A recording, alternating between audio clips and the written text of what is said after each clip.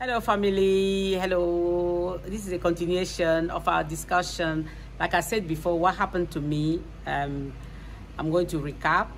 Um, I was due to go to a retreat with uh, some ladies. It was a sisters' retreat to Cape Coast, and uh, I was dropped off the list of people who were going to this retreat. And then, and I said this was going to start a debate. I was dropped off because I am not, I'm an African, but I'm not, I'm not considered as a, a diasporan because I'm an African.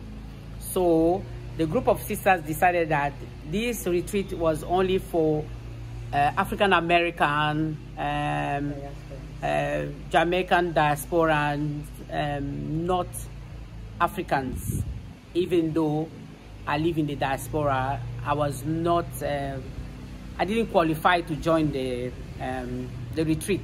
So I have a group of ladies here with me. I'm in Accra. Mm -hmm. I'm in Accra. Today is uh, Friday, the 19th of December. January.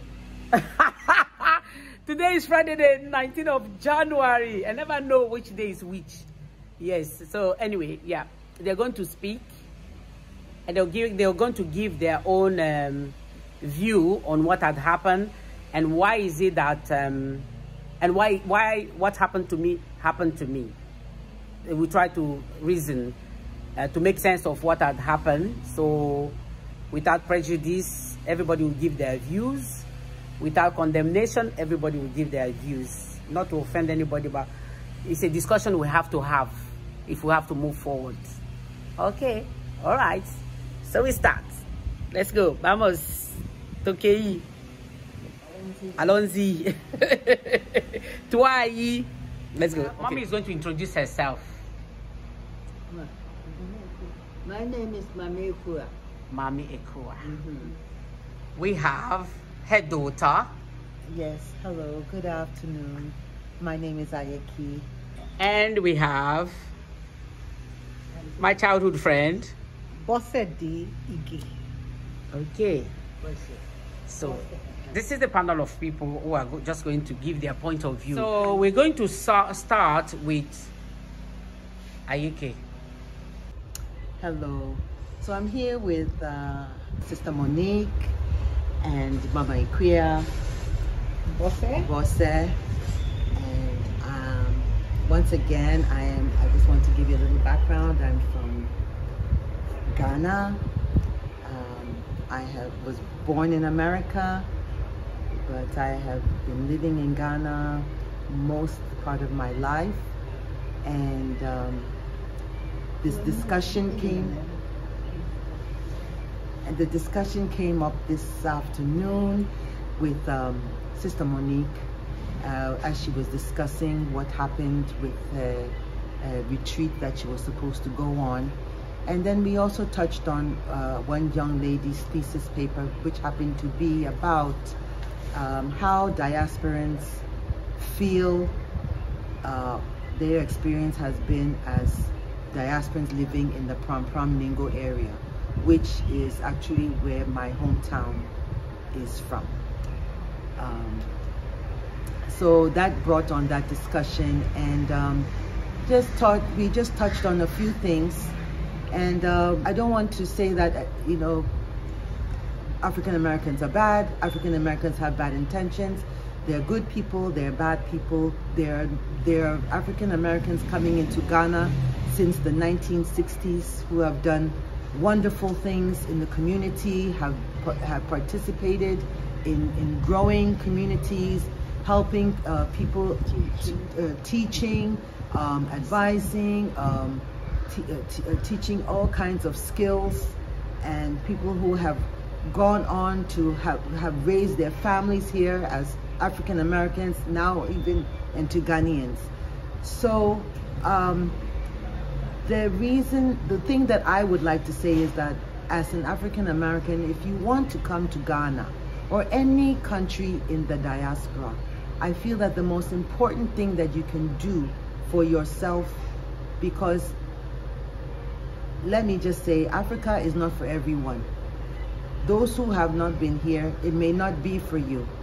But if you've made the decision that you would like to explore um, and have a knowledge, an understanding of where your ancestors came from, and you just want to have that knowledge, that's fine. But if you make the decision that you would like to come and be part of the people who you are descendants of, then there are certain things that you have to keep in mind. I think one of the most important things is to have a goal. Ha know what you're coming here for because that is what the Ghanaian is also looking to understand. What is your purpose in coming here? You know, as Africans, not even just here in Ghana, all over Africa and even in the diaspora, our concerns are we have been exploited all our lives. That's all we know. So what is the purpose of you coming here for? Is it that you've heard that Ghana is open? You can come in, you can, you know, live cheaply, live well. You've heard people coming, they have, you know, big houses, they have acquired land, they have done all these things, they have even acquired citizenship very easily. But you also have to understand what the average Ghanaian is thinking about when he hears all these things. Here he is in his own home. He may or may not be even be able to take care of his family the way he wants to or she wants to. They may not have the job that they want. They may not be able, you know, to have the accommodation or living space that they want. Even land that may belong to them as clans, they may not even be entitled to. But then here comes someone who is not even really indigenous and has not even said what their purpose is and they can easily come and acquire all these things.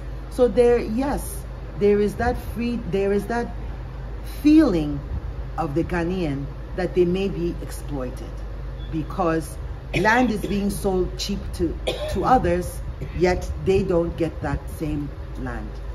They don't get those jobs. They don't have the same opportunities. Even as something as simple, you may think that getting your passport because you are entitled and the government of Ghana has told you you're entitled to have a passport.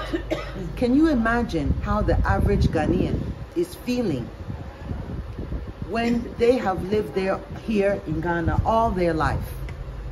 And for them to be able to get a passport, it takes approximately six months or almost a year to be able to get that passport. And you, an African American or an, an, African Jamaican or someone from the diaspora who comes, is, is just given that right without any without showing any sort of um, responsibility or commitment to the community that you are living in. Some also have expressed that African Americans may be segregating themselves in communities. And in doing so, their question is, so if you want to segregate yourself, then why come here? If you're not going to in, immerse yourself in our culture, in our people, to support us, to help us to grow. Rather, we are feeling oppressed, we are feeling denied, we are feeling as if we are second class in our own home. So this is some of the questions and things that we were discussing this afternoon. And um, I hope that, you know, as we continue our discussion, um, you know, as diasporans, one ought to think carefully about what your intentions or goals are before coming to a place like Ghana, Nigeria, Togo, Benin. It's not just as simple as there's free land or there's cheap land or you know, you know I can get my passport easily. Um, think about how your your actions or your your um, how things are going to benefit you, how, how is it being perceived by the Ghanaian as well? They are also feeling that these people um, may be here to exploit us. You're going to be getting passports. What are you going to do with the passport when you haven't committed? Is it that you you have negative or, or, or evil plans? Can you can there be money laundering going? Can there be um, um, um, fraud going on? All kinds of things that you know cross people's minds. Yes, uh, Ghanaians are also not, you know, they're good Ghanaians and they're bad Ghanaians. People also have bad intentions, evil intentions. They will exploit something that is, is, is given to them when um, the opportunity comes, like everyone else. So just just the thought, just thinking about it and um, hoping that you will also think about what the average Ghanaian would feel when they hear about African American communities. Why communities? Why not all together? That's the question. Mommy, what, Well, what- what's your take on that? well, Especially take on it is because you have so much experience that we Yeah. can all learn from. Mm. From my experience, I wonder sometimes when we hear about all this uh, Ghanaians not accepting uh, their, um, pe- the people who are in diaspora, uh, they're African Americans who come here. But you, my question is, what is their purpose also? Because if they're coming here to see what they can contribute to the nation or bring some expertise because we have had, as uh, uh, Ayeki was saying, that uh, there had been some in the 60s that came in here, uh, African Americans that came in here with their intentions of us uh, helping the Ghanaian people, such as they in training, education. Some of them had schools, some of them uh, farming in agriculture. They contributed a lot, and even there were some who had opened uh, uh, vocations like uh, plumbing. That today, in this day, people who trained in those schools uh, now are using them, uh, these skills. There were some who trained like um, uh, uh, this old man that comes to do electricity. Some came with the skills of that and instructed and taught people. We know our own friends, the gardeners. They had a plumbing school. That now the plumbers, most of the plumbers, are have been working. They're old now, and maybe their children included in in their will. So they came and uh, really contributed to, you know, the development of Ghana. Their, that was their intentions of coming to assist. But now uh, it looks like uh, the present day, although it's it's good for the, everyone to come and experience the motherland, if that's what you want to do. But at the same time, when you come, as you coming, you must have uh, have uh, some good reason, or maybe have some good uh, knowledge or what uh, how you come in to relate to the people in in in Africa or Ghana. You know, Ghanaians were known that you were very hospitable. They were they have been known to be. And in Nkrumah's time, I mean, people wanted to come, and it it uh, it looked like uh, uh, people in uh, America they were so you know encouraged about what was happening here, and they wanted to come and contribute to to help and enhance the development of Ghana. But now we don't know uh, the uh, Ghanaian is having some Ghanaians are having difficulty in wondering why some of the African Americans have come in. What their purpose has been, have been, and what are their reasons for coming? Are they coming to uh, be able to thinking that they'll be able to assimilate or, you know, join in anything at all, or have, have, are they coming because just to have a good time in Ghana? Mm-hmm. And also maybe whatever their motives are. We don't know.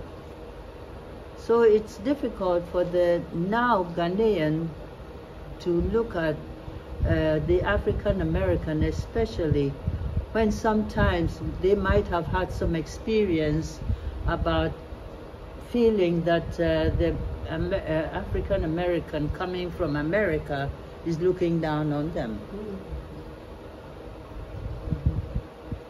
So they they having difficulty relating to them, and also some of the some uh, probably have experienced their uh, relationship with African Americans.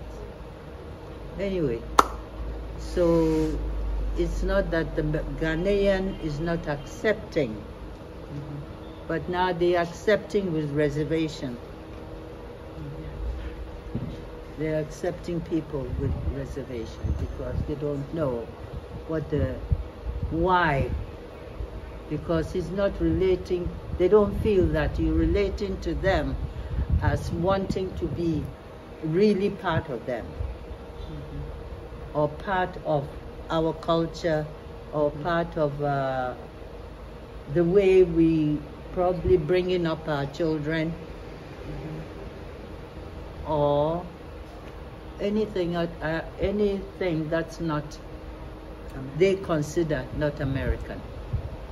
But mommy, you yourself you lived in America for many years. Mm -hmm. You have your children, you've had your children in America. Mm -hmm. But what is it? What advice would you give when they're coming? Should they integrate in the culture here? What is yes. it that they have to know to be able to be accepted? Is it learning the language? What? You, I mean, from your experience in America and yes, being among Americans and coming, actually, yeah. They have to make up their minds that it's going to be different that it's not going to be like living in America and have expectations, high expectations of you coming to live here just like it is in America. They should know that it will be different and that there's certain things that, and also they should also try and educate themselves before they come. Like reading something about Ghana or whatever country they want to go to and their culture. So they can figure out or can say, oh my, I, I can't relate to that. So maybe that's not for me. And they can just stay there. and they can just, uh, just, just, they can just remain or forget the idea of coming over. Because they didn't include me because I'm an African and I'm not African. Part, I'm not considered as part of the diaspora. Even though I've lived outside of my country for so many years and I've come to also settle in Ghana, in Ghana. like everybody. Yes, you are. But then they're saying that no, this group of this retreat uh -huh. was I was excluded from it because I don't belong to the American community. Can but, I make one also? Yeah. Say one thing also. Yeah, go ahead. We also have to re remember that Miss Monique Sister Monique is not a Ghanaian. So she is also migrated from uh, uh, Congo to Europe, all parts of Europe, and finally making her way back to Ghana as her choice. The same choice that diasporans have made to be somewhere and make a choice to come to Ghana. Mm -hmm. So that argument for me, does not hold. The question of do they want to integrate? Mm -hmm. Integrate with the African. I mean, do they want to relate and see where, or see the African as to be like a brotherhood or something. A like that. sisterhood. A sisterhood. Whether you are coming from wherever Yes. part of the Or, diaspora. or wherever it is, you can be from any part of Africa, but uh, living not in your own country.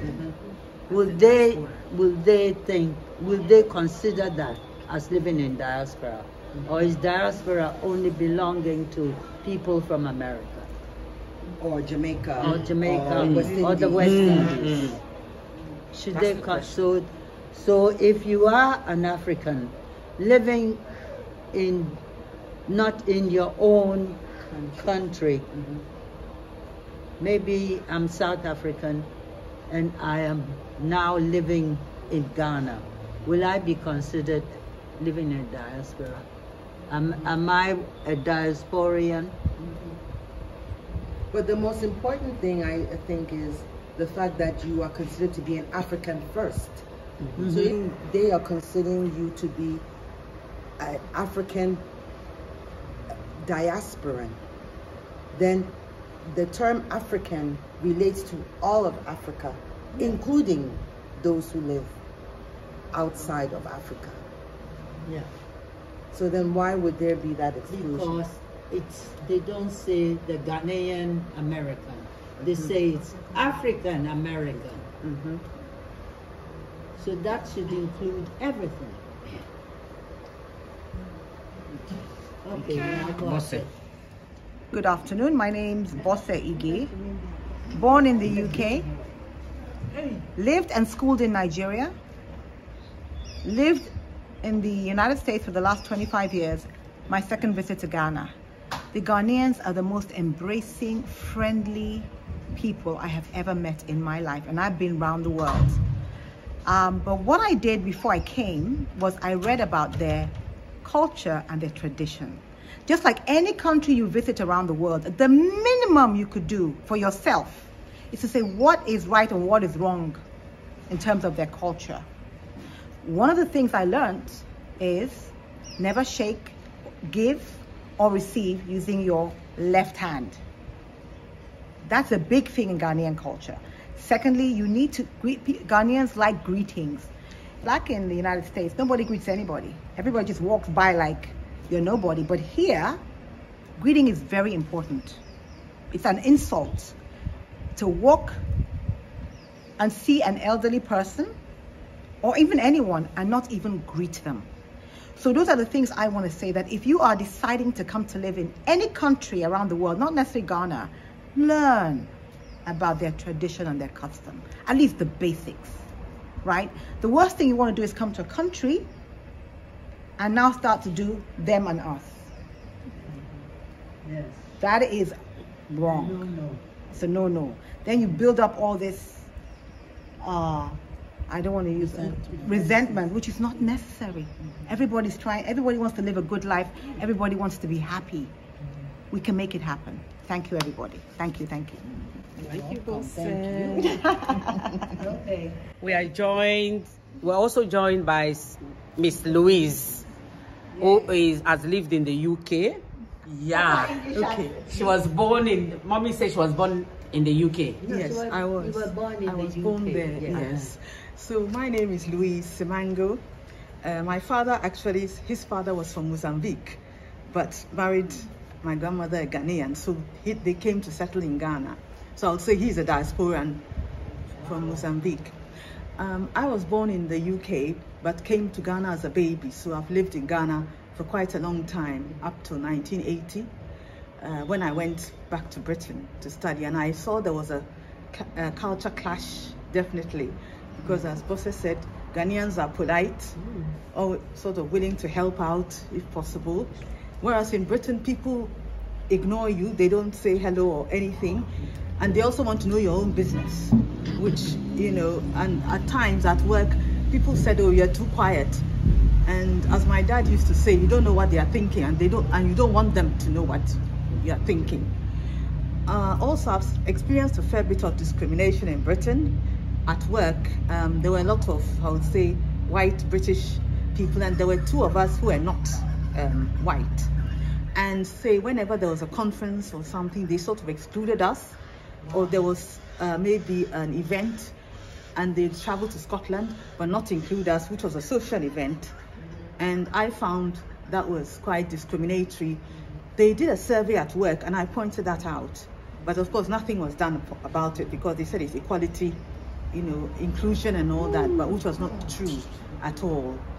Um, so I've come back to Ghana for a while and I'm settling back into life here. So I'll see how it goes. But I think I enjoy life more here than there. Definitely. Okay. So you haven't experienced the African American. Mm, Uh, you haven't no, been would say- around them much. No, I haven't. No, I haven't yet. No. So in this case, would they say she's a dia- Diasporan? no. I don't know even. Uh, Diaspora is, means you immi- immigrated from your normal place to Yes, to somewhere UK. else. Yes. You, you see, that's the Ah, diaspora. Uh-huh. Yeah. But I don't know what is their own. This group of women, the sisters, what is the, the their own definition Yeah, of yeah, diaspora? Yeah, that, that's, You understand? That's Yes. another thing that they have to, you have to learn Thank you, about to know what their interpretation of diaspora is. Or maybe we should look in the dictionary and know what The, diaspora the dictionary it says says. what. you might coming from one place Of your your Of original original place. and and and being cast Outside into of outside Uh-huh. of your original place, Place.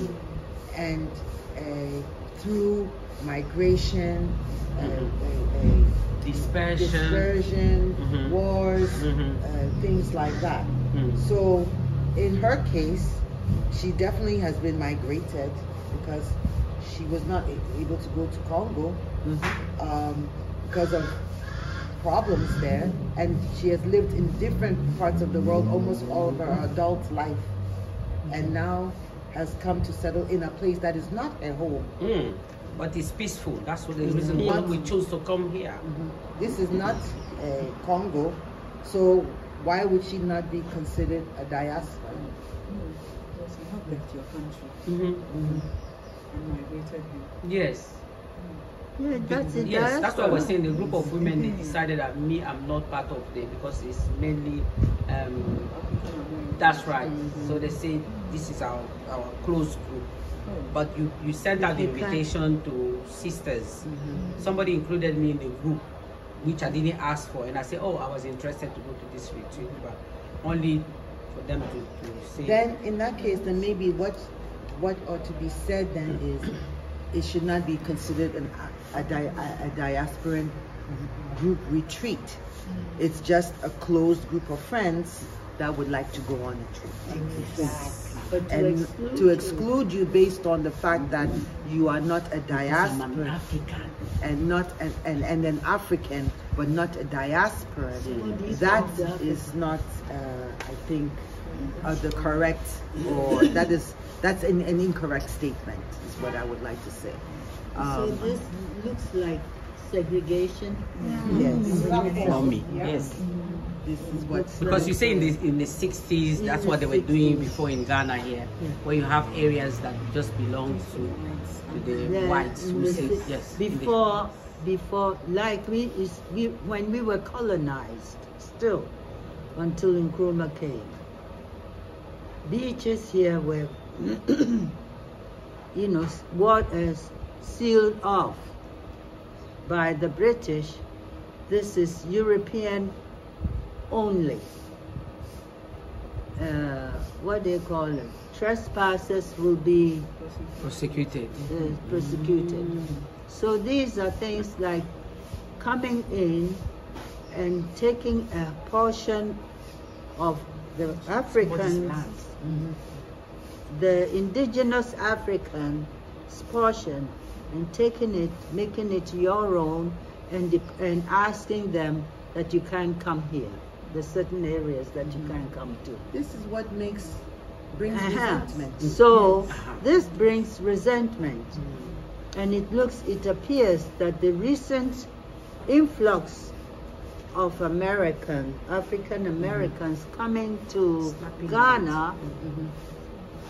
we welcome them, but we don't, we hope they're not coming to segregate, bring some kind of segregation into the land.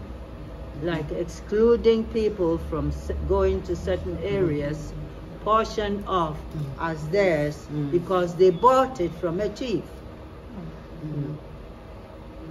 Even a whole beach front has it will be saying telling others that he has bought a beach front and boarded it off only for African Americans. Not allowing the Ghanaian. So in other words, it doesn't seem like they want us to relate to them as as they call themselves the brothers and whatever. what? Where is the sisterhood and the brotherhood? If you want to relate to the Africans, you're coming here to relate to the Africans In their in, land. in their land and uh, have their experience or learn about them and can you know use whatever you you, you learn here to see how you can enhance yourself over there over part when you go or see how the thinking that for instance is just only the the acquiring wealth that makes you somebody Or putting it in or the putting community. into a community mm. but you can really have nothing but show brotherhood sisterhood Respect. respect respecting anyone regardless of where they come from mm-hmm. Who they are. or who they are yes I would say that that is a form of discrimination against the people who live here. You know, they've come in and have formed their own societies and have excluded the indigenous people from here. So it's what they experienced in the States is what they are bringing to Ghana. yeah what they Yeah. experienced What they right? experienced in the Absolutely, States. absolutely. Yeah. I also kind of want to touch on the economic impact of having influx of Man is looking at us some way, so of of of um, of um, diasporans into the into into the country, and not necessarily just Ghana, but also in um, other African countries. As uh, as we all know, our our currencies are tied to the U.S. dollar. So when there's an influx of U.S. dollars, our money is also devalued. So in thinking and doing things when you come here, think of the economic, the social, the cultural impact that comes with coming in such numbers or and, and, and that also has to do with your reasoning. Are you coming here just to have party and fun? Or are you coming here to see, hey, this is this is our our homeland and maybe what can I do? Or how are we how is my being here? How can I relate to these people? How how does my being here affect how other people are living? Your being here may or may not affect our economies. Instance wise the, the, the average Ghanaian cannot even because of the way that there's been an influx of African Americans, diasporans, buying up lands, buying up properties. The average Ghanaian cannot even live in Accra, where they work. They cannot afford it because it, it's, the, the values have been raised so high. And not to say that it's the diasporan's fault, this is an economic thing, but it calls for questioning and also trying to be in remembrance of these things, how it's affecting the people who you are trying to support. Some, something as simple as, um, um, you know, jobs. You may have jobs, you know, that you would probably be more qualified to do, but the African the African is here willing and ready to learn to do it. But because you have the, the name African diasporan or African American diasporan attached to you, and you are recognized by that, you're giving you're given more opportunity than the indigenous Ghanaian. So there's so many things that bring can bring that feeling that you're saying that they don't like you. But these are some of the reasons that we've outlined here that if we are mindful as people to say that, hey, I'm coming, I, I'm, this is my motherland too. Thank you. Miss, Miss we ran out of space. So anyway, you got the gist of uh, what everyone was trying to say mm -hmm, here. Mm -hmm. And um, so closing. Thank you very much. I hope we, uh, I hope I was able to uh, just give a little insight and um, about what and how we're feeling. You're welcome, and I'm glad I, I could share a little bit of uh, the way Experience. I see. Mm -hmm. Thank you so much. Thank you, Miss Louise. Thank, Thank you. you. I felt that was a helpful discussion and hope this will help others as well. Thank you. Thank you so much for following. I hope you learned something. I hope you learned something from this discussion all I can say, be good, be kind, always be kind. 2024 is a year where we do better. We must do better. Peace, be kind. Bye from Accra.